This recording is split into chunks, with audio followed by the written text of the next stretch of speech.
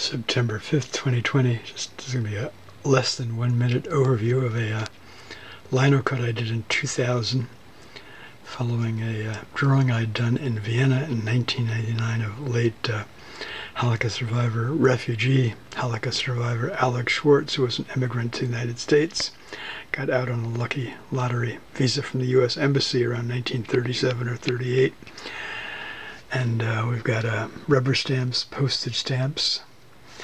It uh, has a double inscription, quotation marks in the bottom. Alex Schwarz in Vienna, 1999.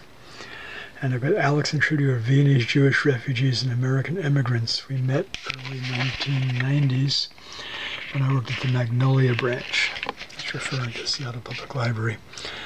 Uh, old SPL Art and Music Department stamps. There. Old Circ Circulation Services Department stamp. Fine at Central. Postage stamps American Statue of Liberty, uh, propeller plane, 8 cents, a British uh, 1 pence stamp, two Israeli stamps. All right, there you have it, just like I pictured it. This is a gift to uh, my website designer. All right, cheers, tally ho, shalom, salam, viva, vive la art.